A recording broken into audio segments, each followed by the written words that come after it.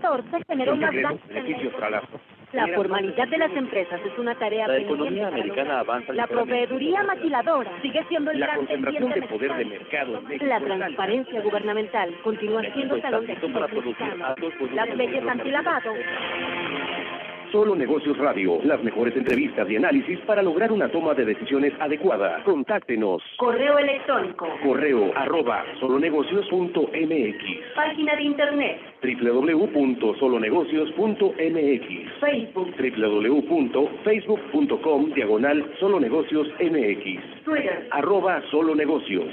Y recuerde, no es nada personal, son solo negocios.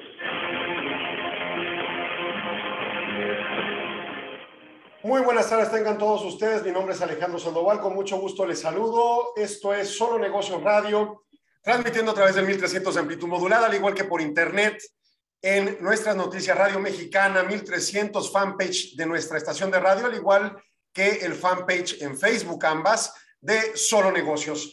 Muy buenas tardes a todos y bueno, pues vamos a empezar este programa con una entrevista también en la secuencia de pláticas con nuestros amigos eh, del IMEF. Y bueno, pues en esta ocasión vamos a entrevistar a miembros del Consejo Directivo Local en el grupo IMEF Chihuahua. Y están con nosotros, aquí les invito a que prendan sus cámaras, el contador público Jorge Ortiz Blanco y el contador público César Alejandro Parada. ¿Cómo están? Muy buenas tardes, bienvenidos. Gracias por tomarnos esta entrevista.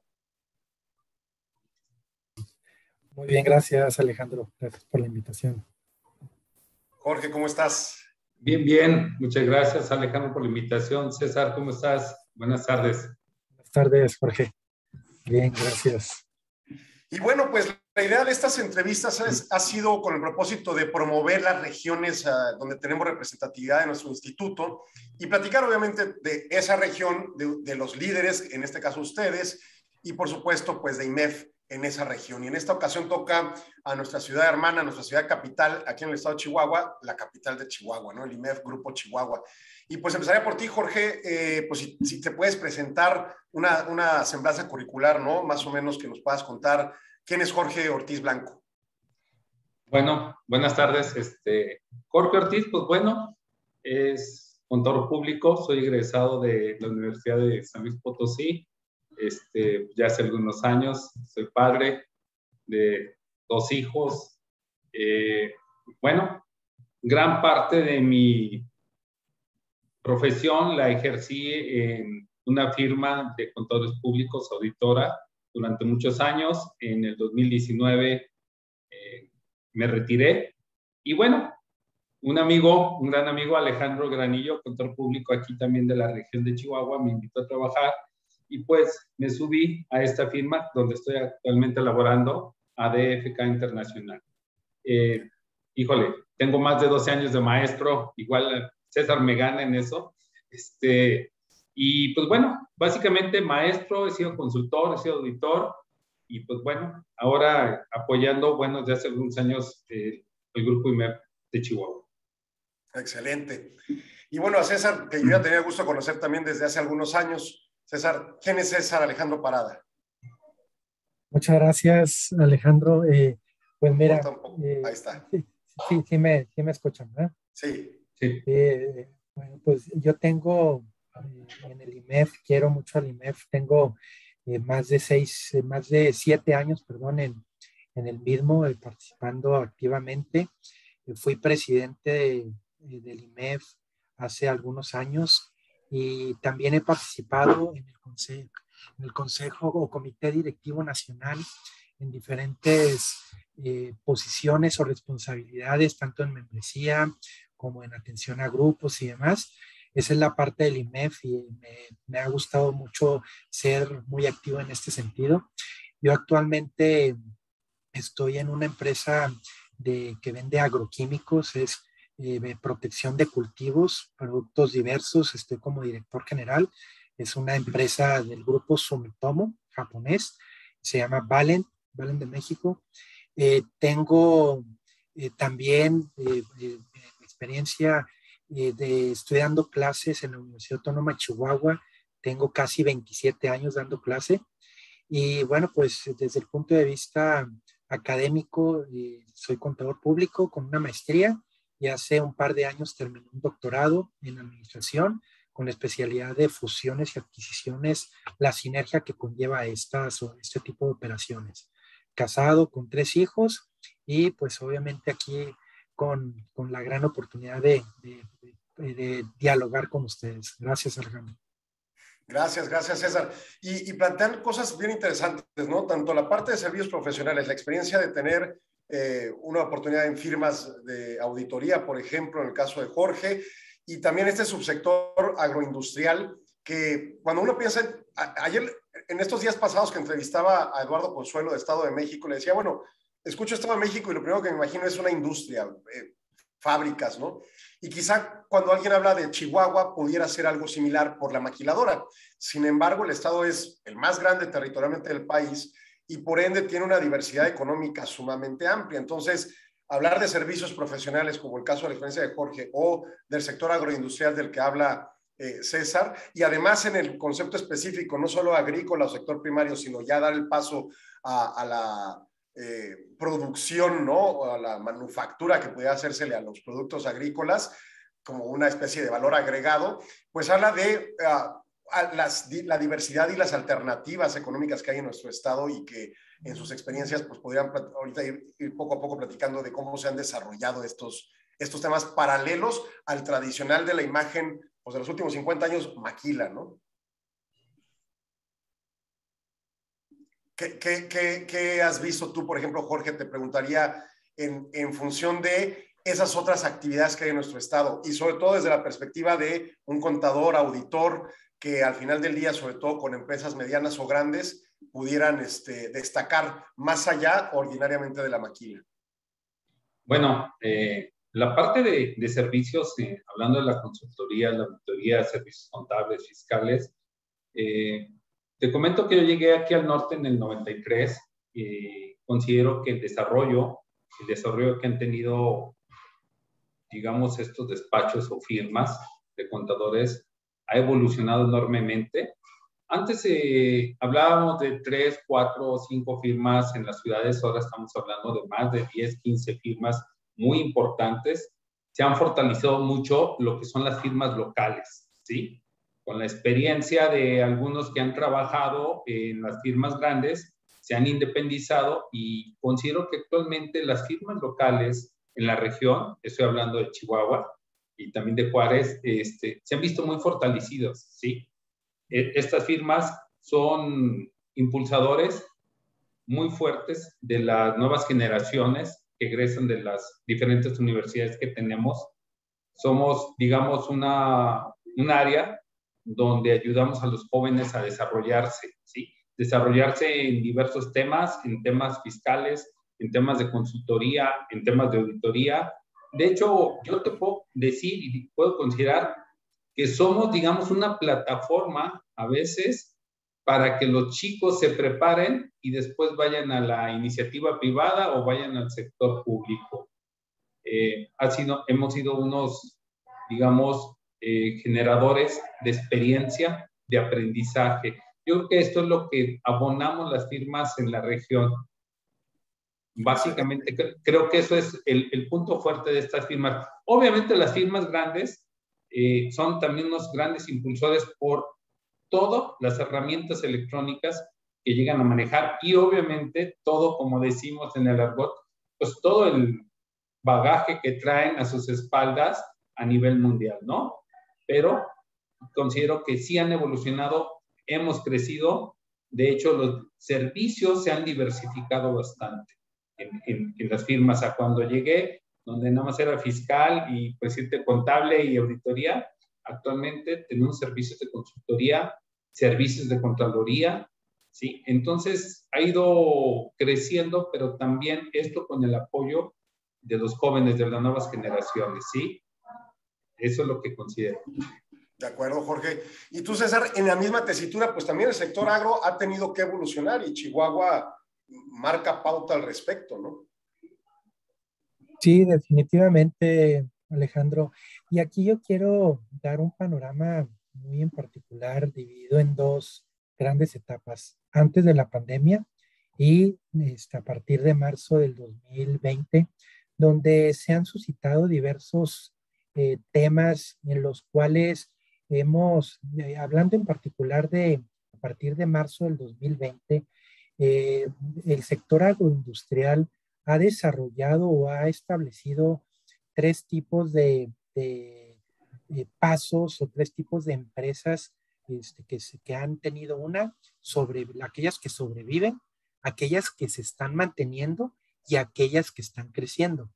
Dentro de este sector eh, agroindustrial, durante esta pandemia, para poder sobrevivir, eh, los que han estado sobreviviendo es, son aquellos que les ha faltado liquidez por retrasos en pagos de clientes, que ha sido desafortunadamente a partir del sexto o séptimo mes de la pandemia, se ha hecho más creciente la falta de, de pagos de los clientes de este sector por, por tratarse obviamente de, de dos, dos temas. Una por la contingencia que quieren guardar más el dinero o están enfocando a otro tipo de, inversiones y, y, no están liberando ciertos pagos, ¿no?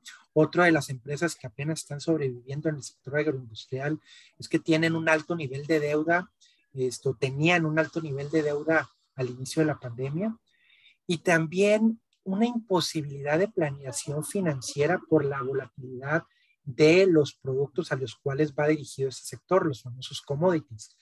Aquí es muy importante mencionar, y yo lo relaciono mucho con instituciones que ayudan a hacer ese tipo de planificación, como el IMEF, que te permite precisamente evitar o te hubiera permitido evitar este tipo de circunstancias y pues buscar pasar de esa parte de sobrevivir a la parte de mantener y buscar un crecimiento. Dentro de las empresas, tanto en Chihuahua como a nivel nacional, que, este, que han estado manteniéndose en esta pandemia, pues es que tienen baja liquidez, pero con líneas de crédito de soporte y obviamente con una estructura ahí de bancos que obviamente los usan, pero no necesariamente tiene, tiene tanta oportunidad de, de, de, un crecimiento, sino más bien para mantener a flote sus operaciones. Dos, podríamos mencionar una venta de productos básicos regulados en precio, que obviamente eso permite mantener un cierto nivel de, de operatividad. Eh, asimismo, pocas oportunidades de inversión por excesivas regulaciones en el sector. Eso nos ha generado que esas regulaciones, pues obviamente tengan necesidad de aplicar algunos otros términos o conceptos o procedimientos para poder eh, mantenerse dentro del mercado. Y por último, aquellas empresas que han crecido a pesar de la pandemia, pues han tenido, eh, por, qué ha sido esta situación? Porque han tenido una planeación sólida, enfocada en crecimiento orgánico, eh, proyectos de adquisición que han solidificado su, su, crecimiento y su poder adquisitivo, un soporte corporativo internacional muchas veces, tal vez un mínimo apalancamiento antes de la pandemia y que lo ha permitido obviamente subsanar durante todo este periodo. Y obviamente agremiado asociaciones o organizaciones del sector y otras que le ayudan este, para poder solventar las actividades financieras, administrativas y del mismo sector. Esto es lo que puedo comentar de inicio. Excelente, César. Muy bien, déjenme, voy a corte comercial en radio, un segundito y vamos a continuar aquí en redes sociales. Bien, continuamos aquí en las redes y este, y bueno, yo creo que comentan varias cosas que ahorita vamos a ir desarrollando en el siguiente segmento, bien interesantes, ¿no? Eh, ahorita lo que decía César, pues el tema de, eh, cómo entender estos tres niveles de empresas que a la postre se enfrentan a escenarios diferentes, aun cuando las regulaciones normalmente nos aplican igual o el sector financiero con sus uh, virtudes y deficiencias, pues es el que podemos acceder. Quizá las más grandes tienen otro tipo de accesos, ¿no? Pero en principio... Eh, creo que sí es así muy plano ese sistema financiero que, que, tenemos accesible en México. Y había un tema por ahí que en uno de los CDNs anteriores estuvo el presidente de la Bolsa Mexicana de Valores, si no me equivoco, Oriol Bosch, se llama, y comentaba, ¿no? Que una de las razones por las que creían ellos que había pocas empresas cotizando en bolsa, que quizás era uno de los estadios de, más óptimos, ¿no? Para financiarse, eh, pues era por las regulaciones, porque hay una serie de estructuras regulatorias ya sea de gobierno, si hablamos de leyes muy complejas y costosas para el cumplimiento, y ya sea internas de las empresas en omisiones, ¿no? O sea, no tener un gobierno corporativo, una planeación sólida como la, que platicaba César, etcétera, ¿no? Y entonces son como retos de esos subsectores. Pero, eh, bueno, pues ahorita que, que, de nuevo que volvamos al aire, me gustaría que fuéramos desarrollando un poco sobre este sector eh, primario en nuestro estado, ¿no? El año pasado se hizo notorio a nivel nacional por el tema del agua, eh, la parte sureste, si no me equivoco, del estado, pero el estado integralmente produce agroindustrial o agrícola, el sector agrícola, el sector ganadero, de manera fuerte, el forestal también, y en su caso, pues este, pocas veces escuchamos de ello, ¿no? Entonces sería interesante conocer la visión que ustedes puedan darnos de este subsector económico, tanto su estadio, su situación actual, como sus retos y sus eh, pues, obstrucciones, ¿no? Como este sistema regulatorio o financiero que es demasiado plano en ocasiones. ¿no? Y quizá también la visión tuya, Jorge, como contador en cuanto a cómo ves cuando te ha tocado ese tipo de clientes que son de sector primario, ¿no? ¿Cómo ven? Sí, esa sería la idea. De acuerdo. Este, ahorita, bueno, pues estamos en la secuencia aquí con, con redes sociales y ahondando un poco, y Jorge te preguntaría, este, ¿ustedes en tu experiencia en, en las firmas grandes llegan a atender sector primario o es muy poco factible? Fíjate que muy poco factible, ¿sí? Eh, casi no se atendía, se atendía a empresas, sí, pero más que ya estaban en el proceso industrializado, ¿sí? o en el proceso de industrialización de los productos, pero el sector primario, fíjate que casi no, ¿sí? De acuerdo. Y este, y ya en la empresa, y, en las firmas más chicas y en esta diversificación, ¿tú crees que sí buscan? Bueno, para pensar yo pensaría un tema cuando me dices, habían grandes firmas y de repente empezaron a crearse muchas locales. Y también lo he visto acá en Juárez y entendería, tiende a pasar en otras ciudades en el país. Eso provocaría una disminución de la práctica monopólica de tres o cuatro grandes firmas, o sea, ya son muchas más eh, atendiendo. Y por lo mismo, estas buscarían diversificarse para no competir a los mismos pocos clientes grandes, ¿no? Claro. ¿Consideras que ahí hay oportunidad en el sector primario para estas?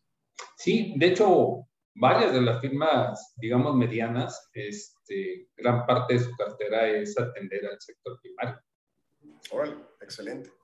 Ahí estamos regresando al aire en radio y, de ahí partiría con esto que acaba de decir Jorge, eh, pues bueno, que, que, conforme se abren las oportunidades para generar tu propia firma, por ejemplo, de servicios, en este caso de contadores o de auditores, pues da, da pauta para encontrar clientes en estos sectores primarios. Y aquí yo les preguntaría, bueno, eh, de nueva cuenta, pensando en el estado de Chihuahua, uno pensaría en Maquila, ¿no? Si fuera de fuera del país incluso. Pero en realidad pues, es un estado demasiado grande con una diversidad económica muy amplia. Y pocas veces pensamos en el sector primario. Y el año pasado, con el tema del agua y la disputa que se dio en el sureste, pues tuvimos ahí más o menos información de, de nuestro sector agrícola, que además es fuerte. Pero bueno, ¿qué podríamos decir y cómo presentar ese sector primario en este programa, César? Eh, sí, mira, ahorita que, en el corte se mencionaba acerca de la eh, problemática que ha sufrido el, tanto el país como, como el norte, aquí en Chihuahua, los factores climáticos, yo, yo quiero dar varios temas generales. Los factores climáticos, obviamente, cuando empresas están tecnificadas con sistemas de riego y demás, obviamente tienen más oportunidades de sobrevivir y, y, obviamente tienen la oportunidad de desarrollar un enfoque de un valor económico agregado que, que le permite, obviamente, contribuir en el, sector económico de una manera más, más, eh, más sencilla hasta cierto punto, ¿no? Y lo que mencionabas acerca de lo, de lo que participan con los diversos despachos, este, eh, que le preguntabas precisamente a Jorge, creo que eh, sí hace falta que los financieros, los contadores participen junto con estos tipos de sectores para que haya una mayor dinámica y que esto pueda engrandecer ambos sectores para poder lograr un mayor crecimiento económico en todos los sentidos, ¿no? Esto en términos generales es lo que quiero comentar. No sé si tengan alguna pregunta en particular al respecto, Alejandro, para no eh, salirme del tema. Yo, yo, lo encuentro como de gran oportunidad, precisamente como dices, o sea, entre más nos involucremos, y digo, porque he tenido contacto indirecto, vamos a pensar, eh, también con esta diversidad cultural que tenemos en el Estado, tanto los grupos indígenas como los grupos eh, extranjeros que se han radicado en nuestra ciudad, los menonitas, entre otros, que también tienen participación en el sector primario y que además exportan mucho, ¿no? Yo digo, hace algunos años me enteré que en Casas Grandes éramos los principales exportadores de pavos a Estados Unidos, ¿no? Y ahora para precisamente el Día de Acción de Gracias, pues ahí es uno de los elementos de venta importantísimo en el flujo de ingresos para esa región. Y así te vas enterando de repente de ciertos productos o de oportunidades, el sector nogalero, por supuesto, también, eh, que, pues potencian ¿no? el flujo de ingresos a, a, nuestro estado y por ende las posibilidades de desarrollo. Entonces, creo que tienes mucha razón en ese sentido. El sector servicios debemos de voltear más a potenciar nuestro sector primario y agroindustrializarlo, ¿no? Como ustedes lo han logrado en tu empresa. E, e, exactamente, y como último comentario, eh, ahí yo quiero hacer mención de que eh, nosotros como miembros de, de instituciones como el IMEF, eh, a través de, esa participación de diversos profesionales en organizaciones, instituciones locales, transnacionales, etcétera, se generan esos nuevos enfoques, Alejandro, de, de cultura financiera para poder aportar a los nuevos horizontes de las mismas. Temas que ayudan o ayudarán precisamente a ser más sólidos como el concepto de EVA, valor económico agregado, GEO, analizar los ciclos de conversión de efectivo que son necesarios en cualquier sector y, y ahondando en la parte agroindustrial es fundamental para poder sobrevivir, una rentabilidad operativa, análisis de riesgos, cuáles son los mercados los que está sujeto y con ello cómo podemos crecer, qué indicadores económicos, cómo podemos evaluar estas empresas para poder obtener créditos más interesantes bancarios y por último, incluso pensar no solo en un crecimiento orgánico, sino también una potencial fusión o adquisición entre este tipo de sector agroindustrial que permita ser más desarrollados y obviamente ser más competitivos dentro del país, dentro del Estado y dentro del país. Este, y creo que instituciones como el IMEF pueden ayudar mucho a desarrollar este tipo de circunstancias, Alejandro. Sí, completamente de acuerdo. Y, y, por ahí, bueno, señalabas estos indicadores, tanto internos de la empresa como los indicadores económicos, y, y, también de repente algunos que se nos van ciertas nociones, ¿no? De repente uno puede identificar la ciclicidad de ciertos uh, bienes que se mueven en las ciudades, sobre todo en las por las condiciones climáticas. Este, platicaba con, con algunos empresarios sobre la ciclicidad de ciertos productos restauranteros, ¿no? Obviamente eso es sumamente claro y, y fundamental en el sector primario, o sea, digo, cuando hay, llueve hay oportunidad de, de, tener mejores cosechas que cuando no, ¿verdad? Ahora, también viene un tema paralelo que estuvimos tratando hace algunos eh, meses, sobre todo cuando nos pasó aquí aquella helada extrema en febrero de este año, y, y lo, lo, veíamos el tema del cambio climático, también la previsión largoplacista para considerar si si hay viabilidad para estos eh, productos de cosecharse aquí en, en X años en función de las inversiones que se quieren desarrollar, ¿no? ¿Ustedes analizan ese tipo de planteamientos a largo plazo? ¿O la banca les impone esos criterios? Eh, aquí no sé si tú, Jorge, o quieras que yo lo comente. Si quieres, adelante, César.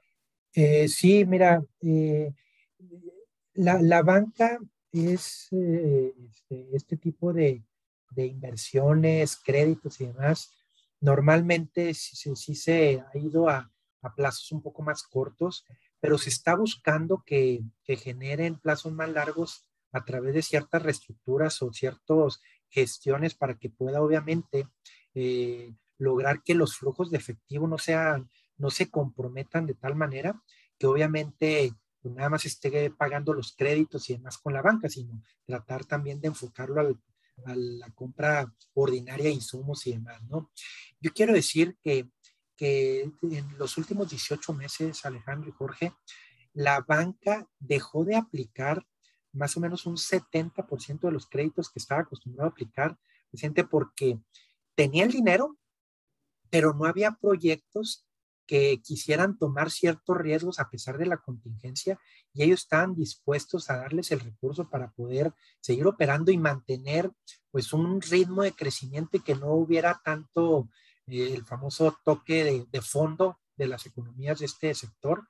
Y creo que lo que, ha, lo que nos faltó como economía estatal y como economía nacional es promover precisamente ese tipo de créditos para que no hubiera en el 2020 tanta complicación de pérdida de empleos, pérdida de flujo, pérdida de consumo y demás, y que en 2021 fuera más rápida la recuperación y sin tantas complicaciones como lo ha habido en algunos meses, ¿no?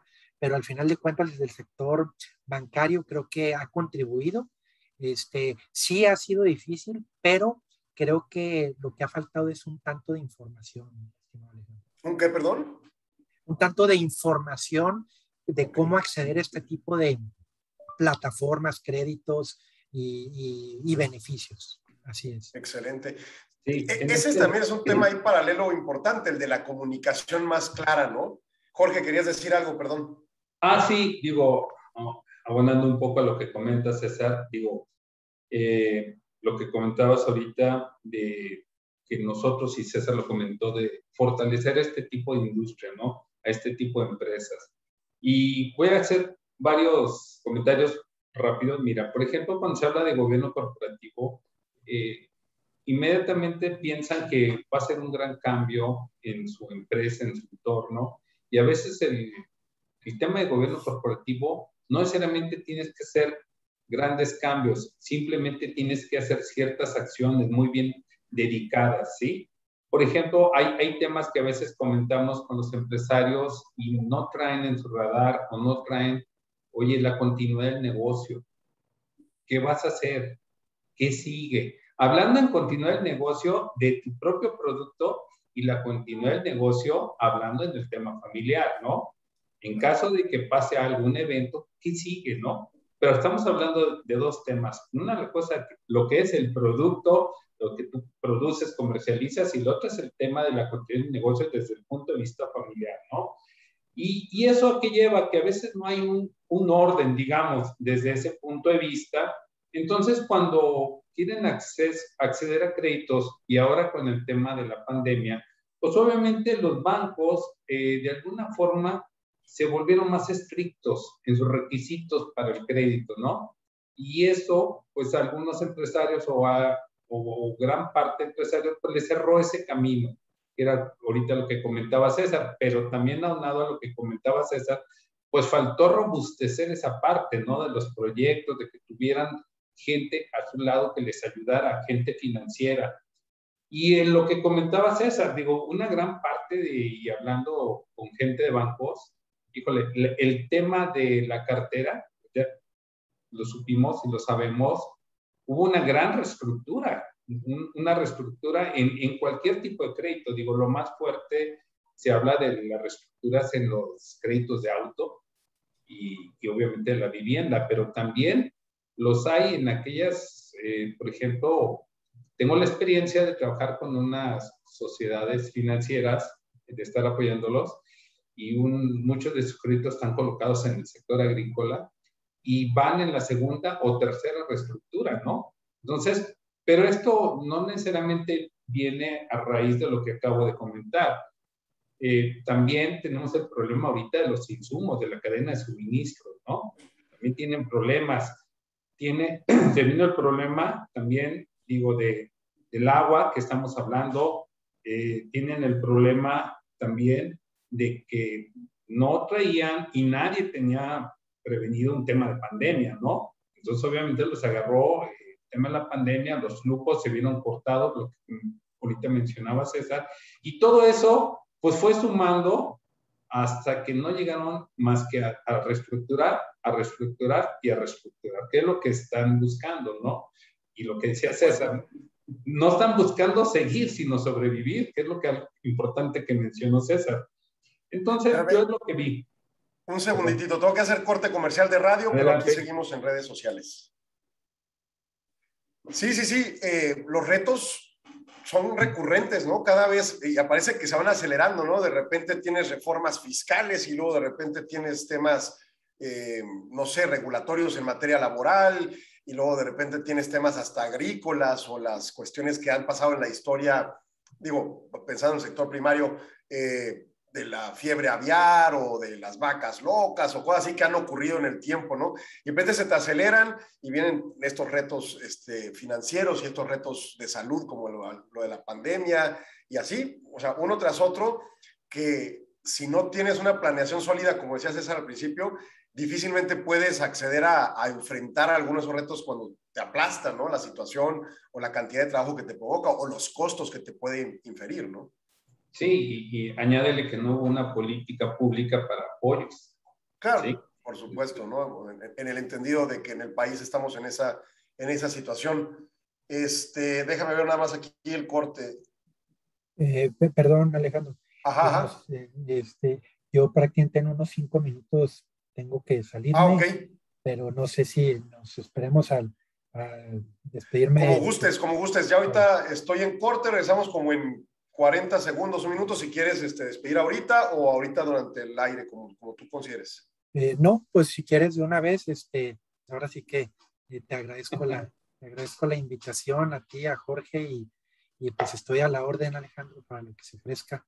¿eh? Igualmente, este, le decía a Jorge que yo creo que visito Chihuahua el, el primero de diciembre o los siguientes, die- siguientes días y los contacto para ver si nos reunimos para el tema del indicador y pues algunos otros proyectos que podemos desarrollar el próximo año entre los dos grupos, ¿no? Perfecto. Claro ¿Sale? que sí. Pues muchas gracias. verte, César. Cuídense César. mucho, ¿eh? Que buenazo. Gracias. Igualmente. Gracias. Pues sí, este, estimado Jorge, eh, son, son una cantidad de retos enormes y como bien dices, o sea, hablar de gobierno corporativo, pues sí, podemos hablarlo como en la bolsa de valores y, y es complejo y es caro y lo que gustes, pero empezar a implementar pasos de políticas sólidas internas no debe ser costoso, sino simplemente meterle seriedad al asunto. ¿no? Así es. Eh, es. Es un tema de orden. Yo siempre he dicho, es un tema de disciplina y de orden. Y el gobierno corporativo lo puede hacer tan robusto, tan esbelto, como lo necesite la empresa, no como lo quiere uno hacer, sino a lo que necesite la empresa, ¿no? Digo, yo conozco grupos empresariales aquí en Chihuahua donde hemos establecido este tema de gobierno corporativo muy adecuado, ¿sí? A- al tipo de empresa y han funcionado. Hemos hablado de la continuidad, ya vamos a una tercera generación. Entonces, eso es lo importante, eh, saber qué es, con qué podemos trabajar en el sistema de gobierno corporativo y algo que al empresario, pues, es la continuidad, ¿no? Eh, ese es el tema. Ya ves que se tiene el, el dicho de que pues, este, se inicia una empresa, el hijo, y cuando viene el nieto se acaba la empresa. No necesariamente tiene que ser eso. Yo pienso que los tiempos o las formas han cambiado, los asesores han cambiado, yo creo que esto lo podemos revertir. Con ayuda. Claro, claro. Y digo, desde la instrumentación de herramientas jurídicas como el fideicomiso hasta fijación de lineamientos que le puedan dar seguimiento. O sea, en mucho de lo que yo le digo a los clientes es, hay que institucionalizar a la empresa, ¿no? Hay que, hay que provocar que, más allá de la cuestión familiar, quienes ocupen los cargos estén institucionalizados para que fácilmente sean sustituidos cuando ocurre una necesidad de sustitución de una persona a cargo de alguna actividad, ¿no? Claro. y haya seguimiento, como dices, continuidad. Ahí ya estamos al aire, por cierto, ahí tendremos hace como unos 30 segundos.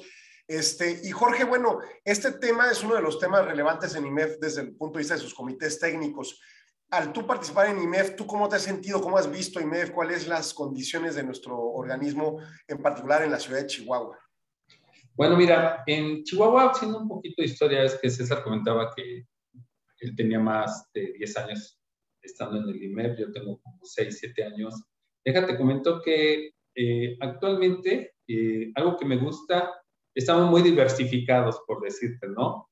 Eh, no todos son este, financieros, también por ahí tenemos otras carreras, eh, aunque la mayoría, pues sí somos financieros, ¿no? Pero mira, hay unos que están eh, en el sector manufactura, eh, como secretario, digo, como secretarios, perdón, como directores de finanzas y administración en compañías públicas, otros están en, en, la misma posición en compañías grandes de la localidad, pero no son compañías públicas, habemos consultores, hay gente que participa en el sector público, entonces está muy diversificado.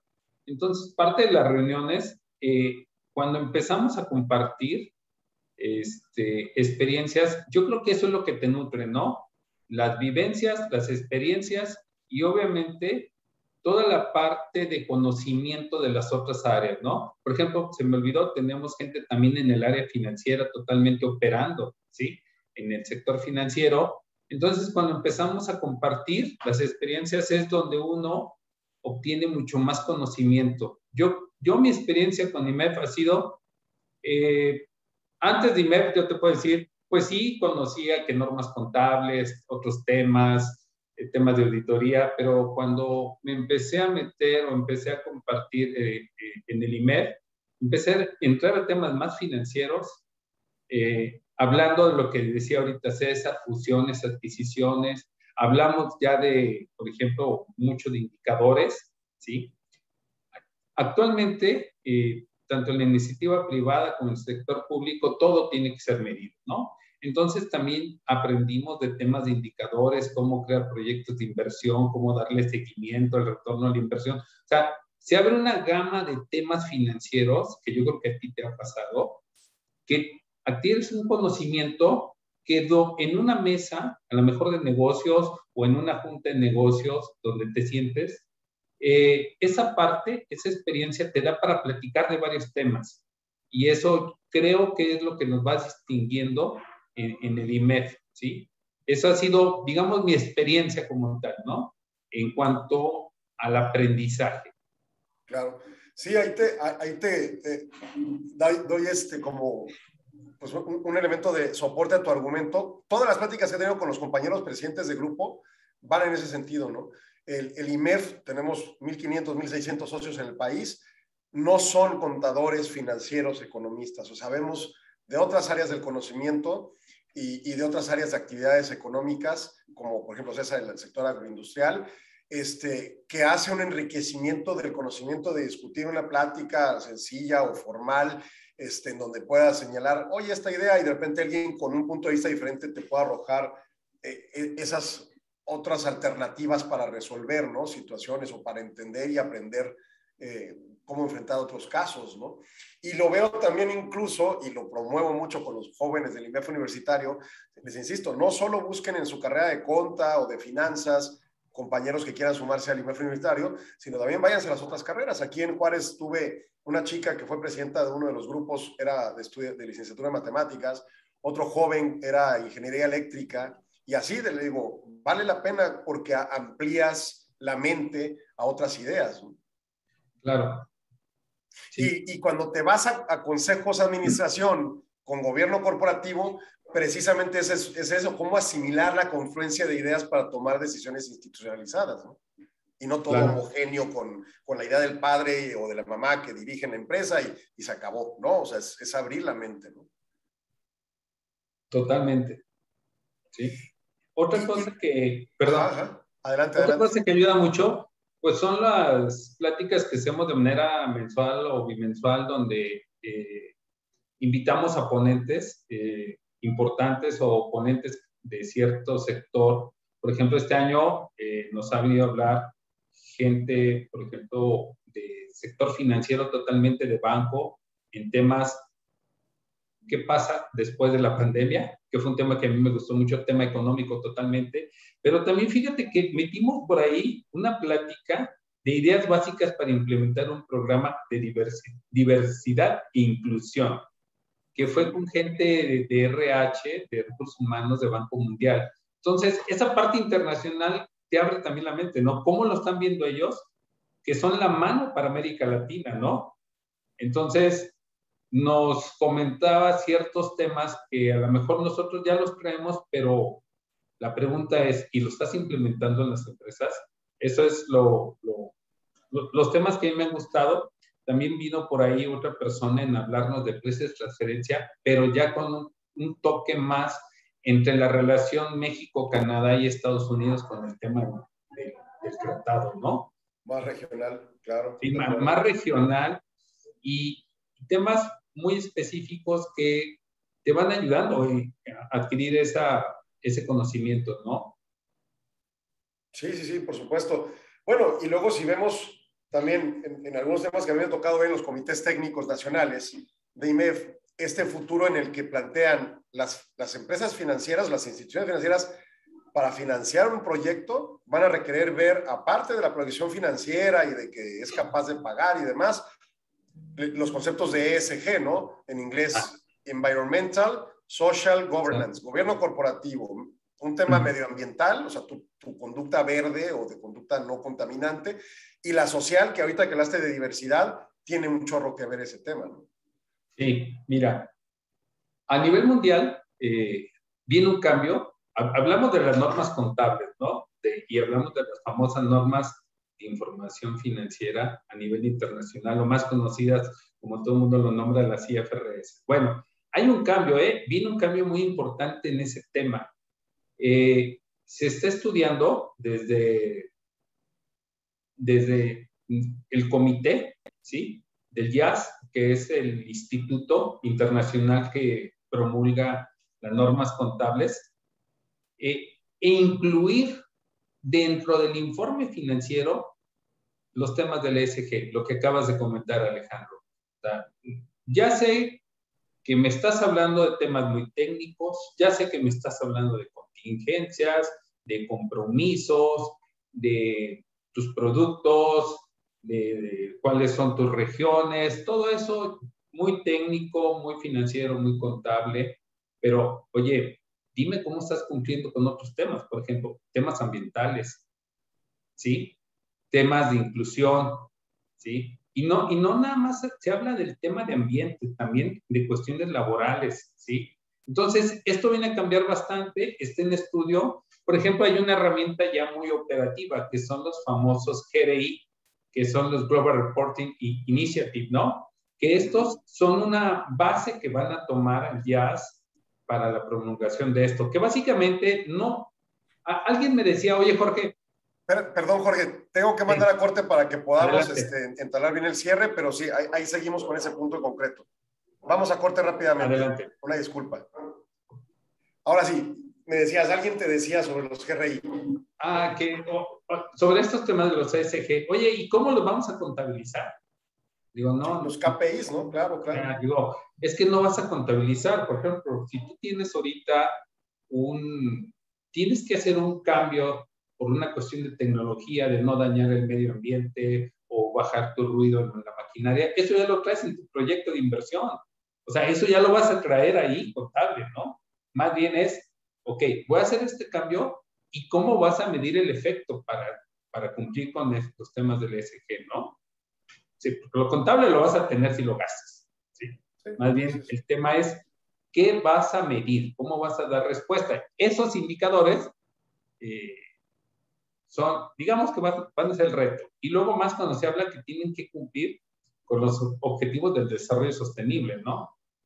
Claro. Y, es que todos estos confluyen para allá. O sea, por ejemplo, ahorita en materia social y cuando hablas de diversidad, también pensar, por ejemplo, en la norma 35 de la Secretaría del Trabajo ya es obligatoria y pocas lo aplican, pero además te da pauta para medir, porque tú estás haciendo una serie de encuestas en donde los trabajadores te van a decir si están bien o están mal en su contexto de vida y hacia la relación laboral. Y obviamente para pensar en desarrollo sostenido en nuestro país o nuestro planeta, tendríamos que pensar que la gente esté bien en su estabilidad emocional y, su capacidad productiva. Ahí tienes una métrica. O sea, ya si no quieres cumplir norma 35 por cumplir la ley o por ser, este, uh, pues no sé, parte de una mejoría en la, en la individualidad de tus empleados, mínimo para tener la medición para tus, precisamente, eh, ¿cómo se llaman? Este, eh, eh, se volvió environmental social ESG, ¿no? Tus, sí, tus criterios ESG para pedir, precisamente acceder a financiamientos y a estabilizar, a, a, cumplir ese futuro cambio en los IFRS, ¿no? Por supuesto. Uh -huh. Claro. Sí, y... sí, sí, un, una serie de temas que confluyen bien complejos. Ahí me, me, están a punto de decir, ahí estamos entrando al aire del último segmento, Jorge. Ok. Este, bueno, eh, continuamos con lo que estábamos. Sí, sí, sí, de acuerdo. Y bueno. quizá en la mano de esto que veníamos comentando, de los SGs y estas experiencias, los retos de IMEF en el grupo Chihuahua, que me imagino van acompañados de estos elementos, cómo llevarlos a conocer al sector empresarial, ¿no? Y a su implementación, por supuesto.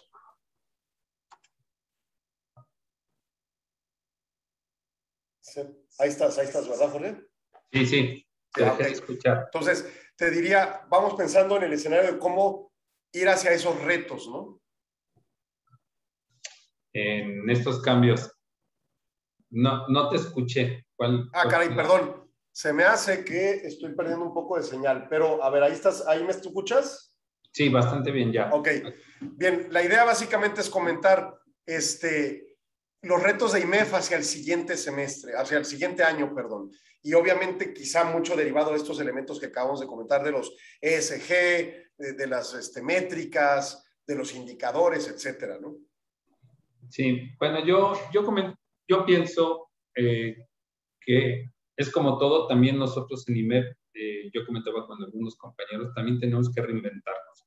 O sea, IMEP nos da bastante conocimiento con las pláticas, con las reuniones, sí que tenemos grupo con los ponentes que nos dan las pláticas, pero yo les decía, tenemos que, aparte del indicador regional, creo que tenemos que, que hacer ya ah, en, en este año que viene grupos técnicos, pero también regionales, ¿eh, Alejandro? Eh, en este tema para mí es bien importante y, y saber eh, redireccionarlos. ¿Cuáles son esos comités técnicos que realmente necesitamos? No, no abrir todos los comités técnicos. O sea, ¿Cuáles son los que sí estamos en la región, pero trabajar en conjunto? Yo, yo creo que el tema de trabajar Grupo Juárez, Grupo Chihuahua, eh, ya es una fórmula que creo ya no está funcionando. Digo, ha funcionado, pero creo que la podemos fortalecer bastante si, si Claro, trabajamos claro. comités técnicos regionalizados y ahora sí, compartir con la Secretaría de Desarrollo e Innovación del Estado o con alguna otra secretaría lo que nosotros estamos haciendo o poder participar en comités, por ejemplo, ¿por qué no participar eh, hablando ya del sector público? ¿Por qué IMEF, que tiene eh, gente muy especializada, gente muy preparada, ¿por qué no estar en un comité de adquisiciones del gobierno estatal, no? O sea, eso es... Mira, te voy a decir una cuestión que, que yo he pensado en términos del gobierno estatal. Obviamente es una cuestión de, de también dedicarle el tiempo, ¿verdad? Porque incluso Claro. nuestra actividad en IMEF es, es honoraria, ¿no? Sin, sin cobro. Pero este, cuando se ha hablado tanto de este asunto de que el gobierno estatal está quebrado, yo digo, a ver, si está quebrado o es una cuestión interpretativa de las finanzas. Y entonces obviamente habría que ponerse a auditar al gobierno para poder comprobar un, uno u otro argumento. IMEF pudiera hacer eso. Ciertamente no lo hacemos quizá porque somos pocos los socios tanto en Chihuahua como en Juárez, pero eventualmente estas alianzas de, de comités, como dices, regionales, podamos eventualmente tener el número suficiente de gente que pueda decir, oye, yo sí puedo hacer un análisis de A, de B, de C, y entonces sí, eventualmente en el tiempo puede decirle al gobierno, oye, yo revisé tus puntos y, y X, ¿no? O como lo dices, lo de, lo de, lo de estas, este, las licitaciones, ¿no? Las participaciones en ese tipo de comités, o en otros aspectos que puedan ayudar a construir un Estado más funcional para, para nosotros, nosotros los ciudadanos, ¿no?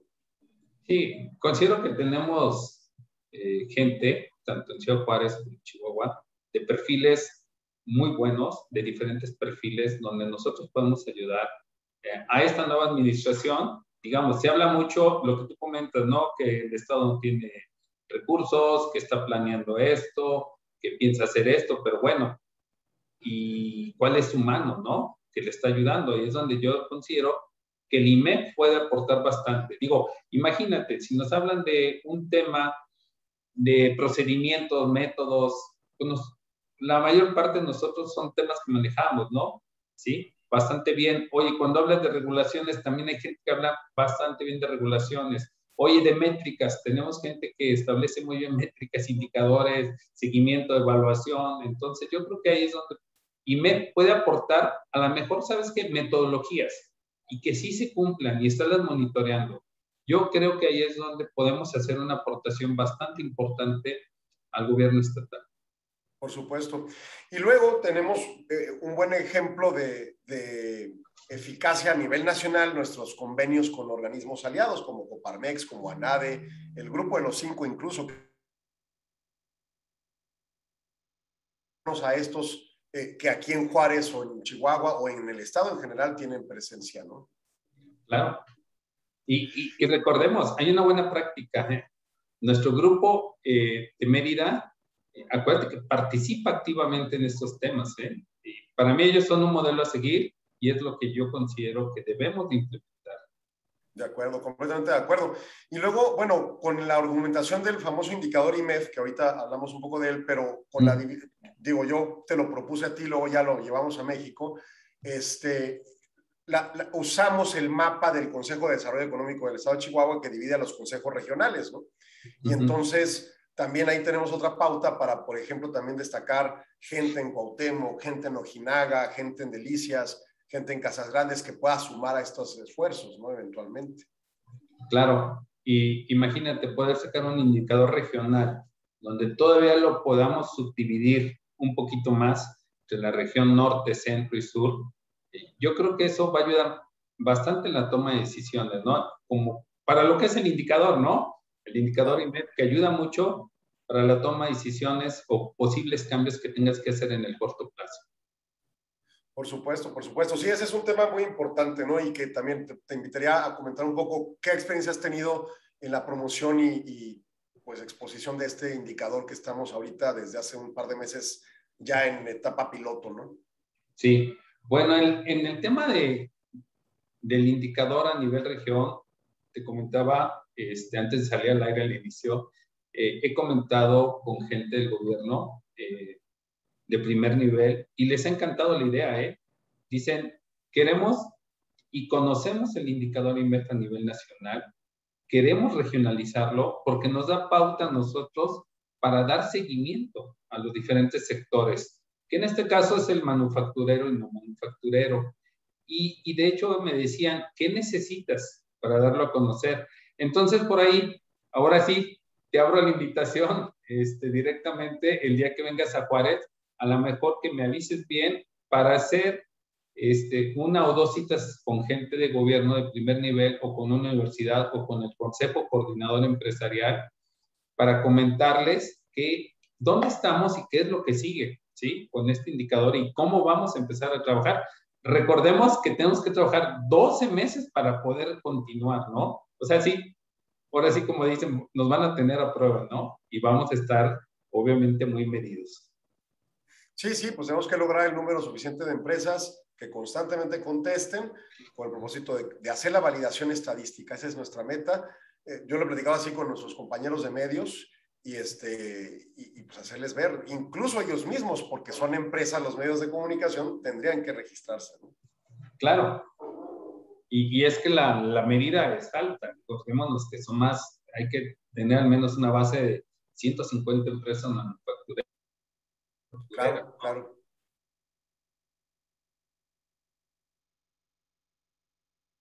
¿Tú ves para el grupo Chihuahua el próximo año?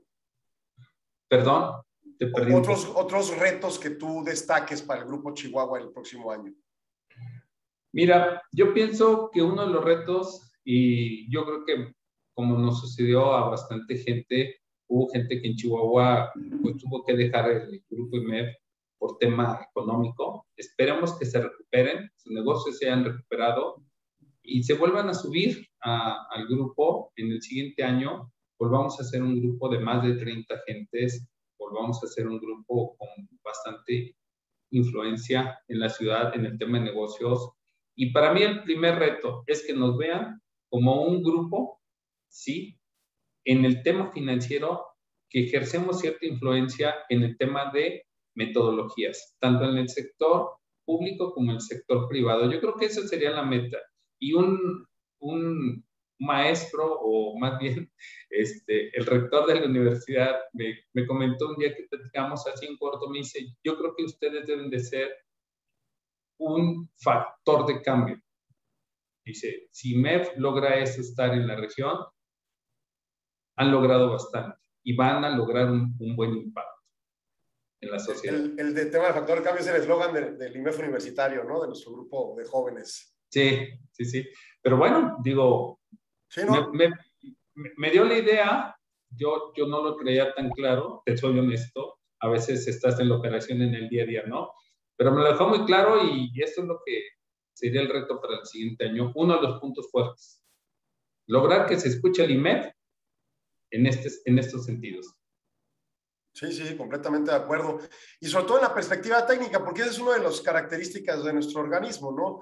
Eh, más allá de defender la posición de un, de un sector económico o de pensar, no sé, en el tema este, político, vamos tras de los aspectos técnicos, no solo los financieros, porque nos hemos involucrado en temas en los diferentes comités de energía, de fiscal, de lo que gustes, este, pero ciertamente esos aspectos que puedan fijar, como dijiste claramente, el método, ¿no? En la metodología, ya sea para el sector público, para el sector privado, para, para mejorar las condiciones de ejecución de las actividades económicas. ¿no?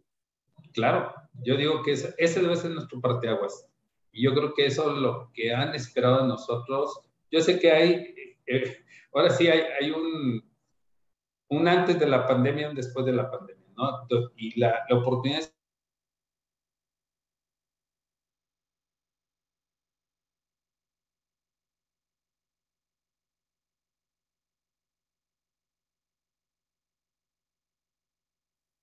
Ya, ya, Ahí está, sí.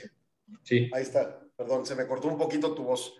De repente nos traiciona el internet un poco, ¿no? La Oye, Jorge, bueno, pues estamos llegando hacia el final del espacio. Este, te invitaría a que nos expusieras puntos conclusivos, sobre lo que platicamos en el día y algún aspecto extra que quisieras. Si tienen algún evento en puerta, pues que nos dijeras, este, nos invitaras a este, ¿no? Sí, bueno, mira, eh, como del tema que hablamos inicialmente de los accesos a los créditos, creo que algo que pasó fue que considero que la banca fue más estricta para otorgar los créditos. también es cierto que nadie esperaba una pandemia, pero ahí está el punto de partida, ¿no? Creo que fue un buen, digamos, un buen tema para aprender que tenemos que estar preparados ante cualquier situación. En un mundo tan cambiante de los negocios, pero ahora también ya, ya vimos que hay ciertas cuestiones que nos pueden hacer cambiar totalmente, tanto en la parte del sector manufactura agrícola hasta en la casa, ¿no? Aquellos que estuvimos en casa trabajando y bueno, y otras familias, los hijos en la escuela y todo el mundo ahí, ¿no?